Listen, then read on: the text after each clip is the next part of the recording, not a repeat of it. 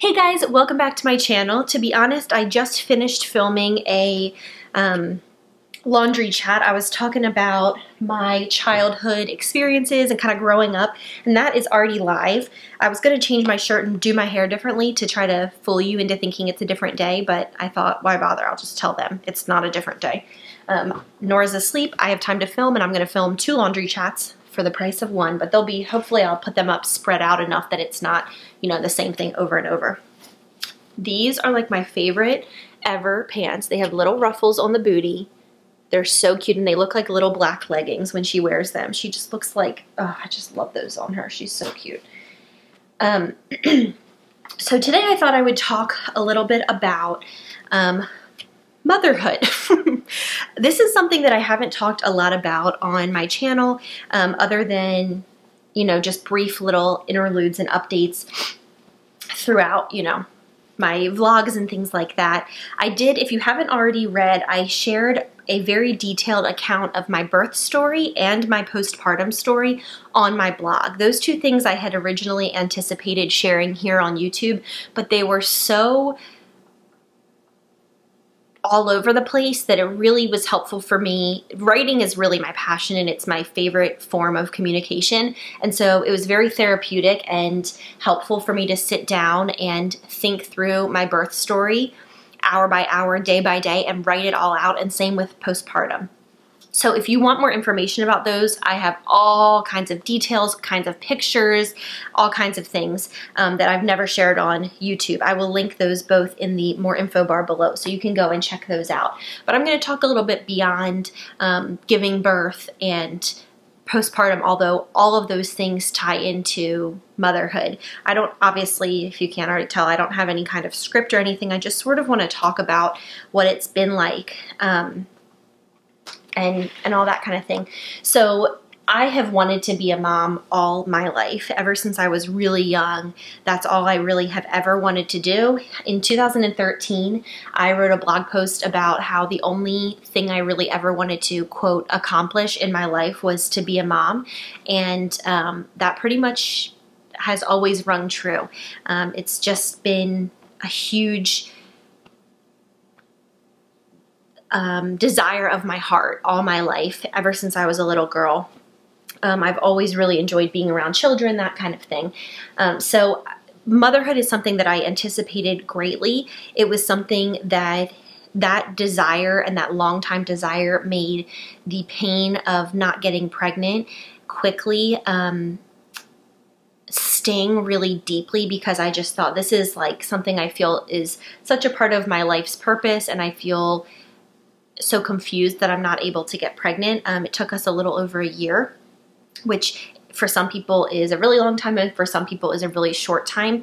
But for me, that felt really long, you know, and each month that would go by, it was, it's just really hard. So my heart breaks in a thousand pieces for those of you who are trying to get pregnant and aren't pregnant. That sting and pain, there is nothing I've ever experienced like that. It is horrible. So I'm really, truly sorry. My heart is with you. My support is with you. My prayers are with you. And I pray over your womb that you get pregnant quickly. Um, I, I know it's so difficult. So we finally got pregnant. I was thrilled. We were thrilled. Every, everything was great. For all intents and purposes, my pregnancy was pretty uneventful. I had aches and pains. I had acid reflux. I was extremely nauseous. Um, you know, all that kind of thing. But there was no major red flag alerts. I didn't have any major issues. I didn't deal with some of the things that other women deal with. Um, any, there was no, no, no one, there was never any concern.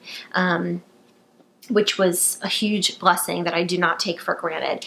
Um, and so Nora came out, she was healthy and big and all of that, and then real life began. it was like, what are we doing? Um, certain things were easier than I expected. Nora is a pretty good sleeper, um, and so she sleeps pretty well. Not she sleeps like a baby, right? So babies wake up frequently and they like to be nursed or fed back to sleep. That's what babies generally like. And so she sleeps like that, but she is not up I'm blessed that she's not up every hour, every 30 minutes. She's never done that. She's sometimes she'll wake up two or three times in the night, but even still, when I wake up, I feel pretty okay. Um, so the sleep was something I was deeply concerned about that has not been as big of an issue. Um, breastfeeding for me has been very, very, very challenging for a variety of reasons. Nora had a lip and tongue tie that we had to have revised early on, and um, that was causing excruciating pain, worse than labor, worse than childbirth. Awful, awful, awful pain. Um, so dealt with that. Just a lot of bre other breastfeeding issues too. We dealt with thrush. We dealt with, um, oh gosh, just pain, pain, pain, pain, pain for a long time. Um, and finally, it, it, finally started getting easier around the 10 to 12 week mark. But 10 to 12 weeks of feeding a baby around the clock um, when you're in excruciating pain is really hard. So there is, there has never been, and there will never be any judgment from me on any which way you choose or have chosen or will choose to feed your baby because I am definitely in the fed is best category. Feed your baby, that's what's important. Um, I totally get that breastfeeding isn't for everyone. Sometimes it doesn't work and sometimes it's it doesn't work because it's so excruciating or whatever. So that's a whole other conversation, but that was something that was much more difficult than I anticipated. And beyond that um, was obviously, I if you've read my postpartum story or heard me talk about it, I went through a lot of pain in my postpartum healing and I had to have um, follow-up surgery, which was awful. Um, so that was a big part of my experience as well. And then furthermore, I was diagnosed with postpartum depression. And that really made things really difficult. I made the decision along with my midwife's guidance and help and under the care of my OBGYN to go on medication. And I've been on medication now since mid-December. So December to January, February, February, March, March to April about four and a half months, it has made a huge, huge, three million huge difference. Like a, my life changed after those first two weeks of kind of adjusting to the medication and getting um, acclimated to it. After those first two weeks, it has made just a huge, huge, huge difference. I felt like I was drowning. I was miserable. I was I just was so unhappy and it was so hard to have this beautiful precious baby and then to be just like losing it. Um, and things didn't just like snap and get easier, but I felt normal again. And that made everything so much easier. Um, as far as mothering on like a day-to-day -day basis, obviously, um, at first it felt like our entire schedule, world, and life just flipped upside down and suddenly every second of the day was dedicated to this precious little girl. And so I remember saying to my mom on the phone, like, when I'm hungry, I end up nursing Nora. When I need to get changed, I end up changing her. When I need to bathe, I end up bathing her. It's this like sacrificial love and it it really is draining, but in this beautiful, refining way. Um, and it, it's hard though. Beautiful, refining, and hard. Um, and that was how, at first, especially when they're little, they're just so needy. They're eating so often. They need so much help. They want to be held all the time. They can't sit up. They can't, you know, all that kind of stuff. So it's, it's particularly difficult those really early, early days. Now I feel like she, she'll be six months probably by the time this video goes up, she will have recently turned six months old. So half a year already. Um, now we are in a routine and a rhythm, and it is such a blessing to be here. Like to future Blair, if you have more kids, around four and a half to five months, it gets so much easier in my experience. Um, so much easier. They start having their own little rhythms, their own little um, routines. You can anticipate their needs and um, you learn, you really learn them. I mean, you're like learning each other. So you really, like for me, it's like I really have learned her different cries and when she whimpers this way it means this and when she does this it means this and you just kind of I've like learned her so much better than I did at the beginning and that makes life so much easier because I'm not guessing all the time. I feel much more confident as a mother. Um, I'm also not in pain and not being thrown through postpartum depression which those two things also make life a lot a lot more streamlined Um, so we definitely have our own little routine now. Um, we have decided not to do sleep training in the classical sense. So we are not doing like the cry it out method um, or anything along those lines. That is each parent's prerogative to choose what works for them. That just doesn't feel right to me. It goes against my instincts. Um, to me, if I, I don't want to start a war, I think you have to choose for your family what works for you. It doesn't work for me and it feels really uncomfortable to me. And so instead, I've been doing a lot more um, laissez-faire approach. I'm like, when she falls asleep, she falls asleep. When she wakes up and she needs me, she wakes up and she needs me. And so it's been really interesting to follow that line of logic and watch her fall into rhythms and patterns on her own. Um, and so I can anticipate like when she's going to wake up in the morning and when she'll need to go down for her first nap. And listen, this is like an ideal day. Some days she takes zero naps and she barely sleeps at all at night. And some days she sleeps really well throughout the night and she takes an 11 a.m. nap and she takes like a 3 p.m. nap and it's this really nice rhythm to our day. I don't want to paint some picture of it being like perfect every day because it's not. I think that's super unrealistic because that's not how babies sleep. babies sleep when they're ready to sleep and sometimes that's all it's all over the place. So that's been our approach and that's kind of how we as parents have handled it and it's worked really well for us and for our family. It's been um, even you, you know it's been there have been ups and downs. There have been some days where everything with sleep has been easy and there have been some days where everything with sleep has been really difficult. Um, it just depends on the day. It depends on all of our headspaces that kind of thing.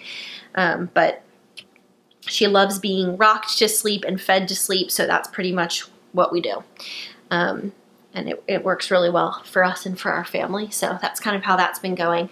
Um, we haven't really gone out into the world with her barely at all because I was in so much pain for the first three months. And then I finally started feeling better. And we did go, Nora and I did go up to Maryland in late February before COVID 19 really hit and um, took a trip to go visit my family. It was sort of like a hallelujah, I'm feeling better trip. And so we went out in the world while we were up there and went and did a few things and it was really special and really fun. But then when we got home, that was in, um, we got home like the very beginning of March and within the first two weeks of March, COVID hit, of course. And so as a, a family of three, me, Riley, and Nora, I mean, I could probably count on one hand the number of like places we've been with her, like in places. I mean, barely anywhere. I really look forward to the day, which I don't know when this will be, but to the day when I feel comfortable taking her out with us and being able to go to restaurants with her. She's really pretty chill. Um, if you've seen her in videos, that's kind of her temperament. She definitely takes after her daddy. She has a very mellow, low-key temperament.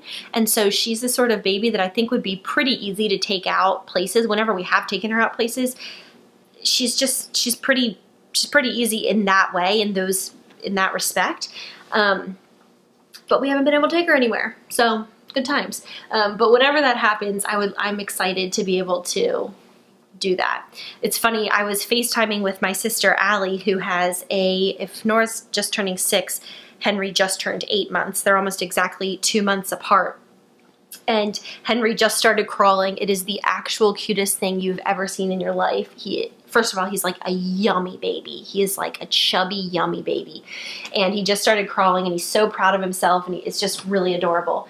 Um, but I was thinking when I was FaceTiming with her, I was like, gosh, Nora will be right behind him, you know, crawling really quickly soon. And um, I was really hoping to go on a Disney cruise while she was in the crawling months so she could be in the diaper dash and win like the champion that she is and we could get the bib and all the little stuff. If you don't know what I'm talking about, you can watch my Disney cruise vlogs, but they do this diaper dash and they put all the crawling babies, they have like a setup. They put all the crawling babies in these lanes and they have heats and they it's a it's a race and it's adorable and hysterical beyond what I can tell you. It's like my favorite part of Disney cruises, and I was so excited to think about getting to do that with my own baby. Um, I'm not thinking that's probably going to be very likely because once they start walking, they're disqualified. They have to be crawling babies. So I don't think that's probably going to happen, but one can hope. I would love, I would love if it was able to, if we were able to do that, but I'm not totally sure about that. Um, so that's one thing. But it's she's sitting up now. She started. She really is getting good at mimicking. So if I say mama, she'll say mama, mama. Like she'll re repeat that back to me, um, or different noises. Or if I um, like blow bubbles, or she'll do it back to me, which is really cute. You can just see her little brain growing and working. It's really really sweet. Um, she's just amazing. Like every day I'm just amazed by her. I love being her mom. One of my favorite things, and a lot of people told me that this would happen, but I, and I believed them, but you, I, I couldn't imagine it. It was people kept saying, just wait until you see Riley with Nora. It is the best thing in my entire life. It is the best thing in my entire life. They are precious together. She, when he walks in the room and she catches his eye, she beams. She her little dimpled cheeks, she just beams. She's so excited. She loves her daddy. Riley has taken to becoming a father like nothing else. He is obsessed with her. He loves her. He hops out of bed in the morning to get her and change her diaper and snuggle her and play with her and he he just loves her. They have all their own little routines and he'll go and rock her and play, It just sing to her and it's like the cutest. They have their whole own bond and relationship that's separate from mine with her and it's just so special to see. I absolutely love watching that. Um, another thing that someone I don't remember. I cannot remember who told me this, but it's like the most precious thing. I just said the same thing to my friend, my dear, dear friend Olivia, who is giving birth to her first baby, a little girl. Nora's future best friend in June. Um, Olivia was my childhood best friend and remains one of my very dearest friends. But I was just telling her this on the phone. I said, someone said this to me when I was pregnant and it is probably the best thing I heard throughout my whole pregnancy. Someone said, Riley just got home and Nora just woke up independently. So I'm going to wrap this up. But someone said to me, um, you have no idea how much you're going to love your baby, but you also have no idea how much your baby is going to love you and how much love you're going to feel in return. And if that isn't the truth, like I, Riley and I talk every day about how obsessed we are with her and just deeply in love with her we are. But then also like when I go pick her up after a nap or I nurse her or I hold her, I rock her and she looks up at me and she'll take her little pudgy hand and like stroke my cheek. That love that she radiates back to me is like there's nothing like it. It's precious. It's precious. I love it. Um, she's probably going to come out here with Riley in a second. You can see her and her cutie little sleepy self. She just woke up from a good nap. That was a good nap. Good job, Nora. Um, so anyway, oh, parenting has its highs and lows. We've been learning every day. Riley and I have been navigating it together, making decisions together, talking with close people together, figuring out this whole thing together. It is um, wild how many decisions you have to make. Hi, little girl. Nick, come say hi. I'm talking about you. Oh, this little precious avocado. What are you doing, baby girl? Just being a baby. Being the cutest. Being the cutest. it's amazing how many decisions you have to make as a parent all the time. So Riley and I have been teaming up, making those decisions together, and you just sort of have to do your research, weigh the pros and cons of different things, talk to friends and family, and make decisions and move forward because there are like so many different decisions to make. But we are so happy to be where we are with our little six month old princess. She's so precious and um, has been such a huge blessing to us. So we've taken to parenthood, I think, really well. It's been hard at times. It's been amazing. And um, we just love it. So that's our little update. What do you have to say, Rye, about being a daddy? I love it more than I thought I would. He said he loves it more than he thought he would. Every day we're like, Nora, you make us want 500 more babies yeah. Not pregnant, not trying to get pregnant, not going to be pregnant anytime soon. So y'all just keep yourselves from typing all those questions. but we do love it and we would love to have another baby in the future if we're able to. Let's end it on that. Thank you so much for watching. Would love to hear about your experience with motherhood or if you decided not to be a mama or if you're not a mama yet, but you are an auntie to your friends or your sisters or your cousin's kids. And, you know, I know how I was in that role for a long time and that is a precious role as well. Um, so I would love to hear from you and I appreciate you guys watching. Thanks for hanging out with me while I fold my laundry and I'll talk to you later. Bye.